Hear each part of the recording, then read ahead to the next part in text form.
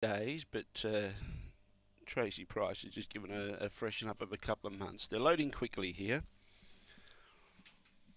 So they're all being placed away and the green light goes on. Favourite box five, wild looking.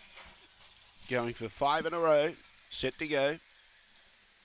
Away, while looking began well as usual. We'll clear them. We'll find the lead out in front by three lengths, and there's a big group around them. Getting into second is Raw Luxury. She's chasing out after the leader. Then there's a line of four or five. Exciting times getting into the clear and starting to stride out. Will challenge strongly for second prize.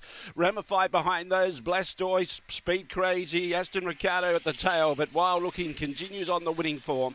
Second Raw Luxury. Third was Exciting Times. Lucy's Nimbus got up for fourth in front of. Uh, Pulling up quickly alongside of it was Speed Crazy. Then we had Aston Ricardo, Ramified and Blastoise together at the tail end of the field. The time was around 22.23, so again he gets a PB. 584, the judges' numbers. 584 and 6, 584, 6, the judges' numbers. 22.